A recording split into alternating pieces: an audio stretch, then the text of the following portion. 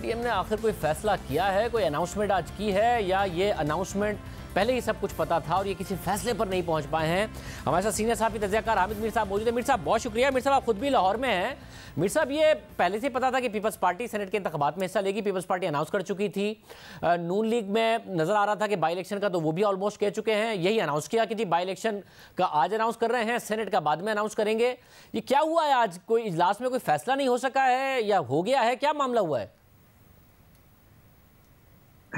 शाहजेब साहब असल में मसला ये है कि आज जो इजलास था ना, इस इजलास में बड़ी बहस हुई है और इजलास में वीडियो लिंक से जो कासिम जरदारी साहब हैं, उन्होंने भी पार्टिसिपेट किया है। तो आखिर में जो मौलाना साहब ने जो बात की प्रेस कॉन्फ्रेंस जो उन्होंने की है तो प्रेस कॉन्फ्रेंस में उन्होंने सिर्फ़ मोटी मोटी बातें आपको बताई हैं, लेकिन अगर आप उसमें उनका लबो लहजा देखें तो उसमें एक तो थोड़े पुरतमाद नज़र आ रहे हैं, वो कह रहे हैं जी कि अब पीडीएम में कोई इख्तलाफ नहीं है। लेकिन जो इजलास के अंदर जारी बात है वो सारी बातें तो आपको नहीं ना बताएँगे। आ, असल में आज इजलास में मौलाना फजल रहमान साहब जो है उनका एक ख्याल था कि पीडीएम को ना तो जमनी इलेक्शन में हिस्सा लेना चाहिए और ना ही सेनेट के इलेक्शन में हिस्सा लेना चाहिए। तो उस पर जो बाकी जमातें थी खासतौर पर पीपल्स पार्टी जो है उसका एक ख्याल था कि हमें जमनी इलेक्शन में हिस्सा लेना चाहिए क्योंकि जमनी इलेक्शन तो इकतीस जनवरी से पहले हो रहा है और हमने तो इकतीस जनवरी तक की डेडलाइन दी हुई है।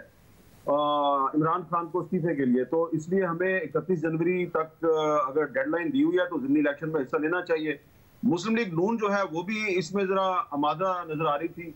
तो जब दो बड़ी पार्टियाँ जो है, वो इतफाक एक दूसरे से कर रही हैं तो फिर मौलाना साहब ने इस पर कंसीड किया।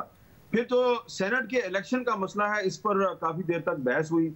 इसमें भी पीपल्स पार्टी का यह ख्याल था कि हमें हर फोरम पर हुकूमत का मुकाबला करना चाहिए। कोई फोरम हमें छोड़ना नहीं चाहिए। और अगर मुस्लिम लीग नून जो है, उसको पंजाब असम्बली में उसके पास काफ़ी निशस्तें हैं और वो अपने सेनेटर ला सकती है तो आप सेनेटर लेके आए और अपने सेनेटर लेके आए वहाँ पे और मुकाबला करें और कोई ऐसा अपॉर्चुनिटी ना दें हुकूमत को कि वो ईवान बाला में अपनी अक्सरियत कायम करके तो अपनी मर्ज़ी के मुताबिक लेजिस्लेशन करे। तो अब उस पर मौलाना साहब ने कोई वाजे जवाब नहीं दिया। जब उनको सवाल किया गया, उन्होंने कहा कि जब वो वक्त आएगा तो बताएँगे। लेकिन मेरी इतला यह है कि मुस्लिम लीग नून जो है, वो भी सेनेट के इलेक्शन में हिस्सा लेना चाहती है और हिस्सा लेगी। और अब पीपल्स पार्टी भी सेनेट के इलेक्शन में हिस्सा लेने का फैसला कर चुकी है। मुस्लिम लीग नून भी सेनेट के इलेक्शन में हिस्सा लेगी, लेकिन इस फैसले की अनाउंसमेंट बाद में करेगी। ज़्यादा जो फिर, जब दो बातें जो है, वो मान ली गई पीपल्स पार्टी की और मुस्लिम लीग नून की तो फिर मौलाना फजल रहमान साहब जो है, उन्होंने फिर अपनी भी एक शर्त मनवाई और वो ये थी कि अब फिर लॉन्ग मार्च जो है, वो ज़रूरी नहीं है कि हम इस्लामाबाद की तरफ़ करेंगे, हम रावलपिंडी की तरफ़ भी कर सकते हैं और इस पर फिर आप लोग कोई ऑब्जेक्शन नहीं करेंगे। तो इस पर जारी बात है जब दो बड़ी पार्टियों की बात मान ली गई, दिल्ली इलेक्शन पर और सेनेट के इलेक्शन में तो फिर उन्होंने मौलाना फजल रहमान की ये जो ये जो उनकी डिमांड थी कि हम रावलपिंडी की तरफ़ लॉन्ग मार्च की ऑप्शन खुली रखें। तो उसको तस्लीम कर लिया गया। तो अब असल जो चीज़ है अब एक शिफ्ट नज़र आ रहा है आपको पीडीएम की पॉलिसी में। कि पीडीएम जो है वो अब जिली इलेक्शन भी लड़ने पर आमादा है और वो सेनेट के इलेक्शन में भी हिस्सा लेगी। लेकिन साथ ही साथ ऑप्शन को उन्होंने अपने आ, सीने के साथ लगा के रखा हुआ है। लेकिन जो अब उनका मेन हथियार होगा वो लॉन्ग मार्च होगा। पहले ये लॉन्ग मार्च की तरफ़ इतना तवज्जो नहीं दे रहे थे। आज के इजलास में लॉन्ग मार्च पर इन्होंने ज़्यादा बहस की है। और मेरा ख्याल है कि अब आने वाले दिनों में जो पीडीएम का जो असल हदफ होगा, वो लॉन्ग मार्च को कामयाब बनाना होगा। मगर हमने साहब इसमें हुकूमत के लिए कोई परेशानी का बाइस है? कोई चीज़? बाई इलेक्शन ये लड़ रहे हैं। इकतीस जनवरी की जो इन्होंने पहले डेडलाइन दी थी, वो आज दोहरा दी है। हुकूमत कह रही है कि जी, आप अभी इस्तीफे दें। इनके पास तो इस्तीफे आ गए हैं। सेनेट के इंतबात भी ये लड़ेंगे। लॉन्ग मार्च करके भी वापस तो हुकूमत के लिए कोई है कोई परेशानी की बात इस सारे में हुकूमत को बड़ा कंफर्टेबल होकर अपनी कारकर्दगी पर फोकस करना चाहिए? देखिए, हुकूमत जो है, उसने अपने एक्शन से ये वाजे किया है कि वो काफ़ी परेशान है। देखे ना, पहले उन्होंने जो सेनेट का इलेक्शन है, उसके बारे में कहा जी कि हम उसको पहले करवाएँगे। तो ये उनकी एक बौखलाहट का सबूत था। फिर उन्होंने ख्वाजा आसिफ साहब को गिरफ़्तार कर लिया और ख्वाजा आसिफ साहब आपको पता है कि उनके बारे में ये एक आम तासुर था कि वो एक मॉडरेट लीडर हैं। और अभी तक हुकूमत ने अगर किसी को गिरफ़्तार किया है तो वो उन लोगों को गिरफ़्तार किया है जो कि मुफामत के और डायलॉग के हामी थे। शहबाज शरीफ साहब भी नेशनल डायलॉग की बात करते थे, उनको भी गिरफ़्तार कर लिया गया। ख्वाजा आसिफ साहब जो है, उन्होंने भी इदारों के दरमियान डायलॉग की बात की थी, उनको भी गिरफ़्तार कर लिया गया।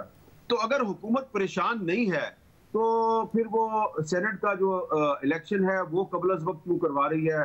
मरियम नवाज़ जो है, वो किसी जलसे में एक तकरीर करती हैं, उनके जवाब देने के लिए कभी तीन मिनिस्टर्स प्रेस कॉन्फ्रेंस करते हैं, कभी चार मिनिस्टर्स प्रेस कॉन्फ्रेंस करते हैं।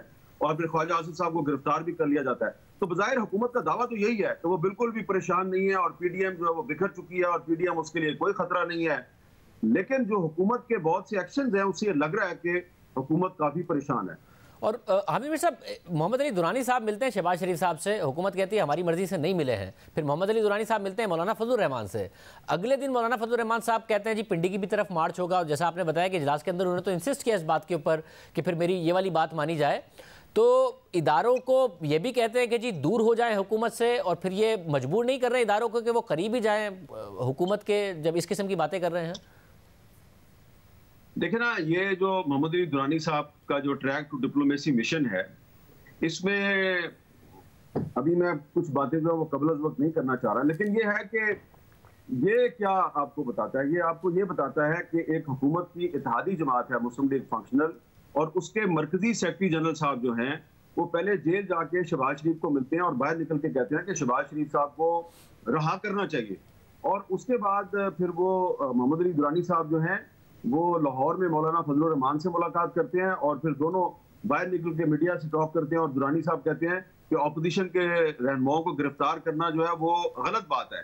तो जैसा कि मौलाना साहब ने भी आपको बताया कि वो एक ग्रैंड नेशनल डायलॉग का फलसफा बयान करने उनके पास आए थे लेकिन जारी बात है, आपको भी पता है कि असल बात तो मौलाना ने आपको नहीं बताई और असल बात तो मोहम्मद अली दुरानी साहब ने भी मीडिया को नहीं बताई। तो वो जो असल बात है, वो यही है कि दुरानी साहब जो हैं, वो पीर साहब पगारों का पैगाम लेके अगर पहले शबाज शरीफ को मिले हैं और फिर फजल रहमान साहब को मिले हैं तो जाहरी बात है, इसका मतलब यह है कि फंक्शनल लीग जो है, वो इमरान खान साहब की इतिहादी है, लेकिन वो उस इतिहाद में कंफर्टेबल नहीं है। और वो कुछ ऐसी मूव्स बना रही है कि उसकी अपोजिशन के साथ जो फासले हैं वो कम हो। लेकिन ये भी आप जेन में रखें कि फंक्शनल लीग जो है, वो सिंध की जमात है और पीपल्स पार्टी भी सिंध की जमात है। तो अगर फंक्शनल लीग जो है, वो कभी जेयूआई को मिल रही है और कभी मुस्लिम लीग नून को मिल रही है तो ये पीपल्स पार्टी के लिए एक खतरे की घंटी है। क्योंकि अगर सिंध में फंक्शनल लीग और जेयूआई और मुस्लिम लीग नून ये तीन पार्टियाँ अगर इकट्ठी हो जाएँ तो पीपल्स पार्टी के लिए बड़े मसाइल पैदा हो सकते हैं, क्योंकि कराची में तो पीपल्स पार्टी को एम हमेशा चैलेंज करती रही है। और पिछले इलेक्शन में कराची में तहरीक साहब ने भी पीपल्स पार्टी को चैलेंज किया, बल्कि उनसे सीटें काफ़ी जीत भी नहीं लेकिन अगर J U I functional league और मुस्लिम लीग नून ये अगर सिंध में इकट्ठी हो जाती हैं तो पीपल्स पार्टी के लिए बड़े मसाइल पैदा हो जाएँगे।